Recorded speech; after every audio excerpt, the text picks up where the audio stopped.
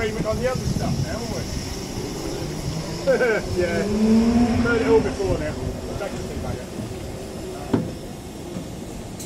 Are you with it? Oh, you not got the...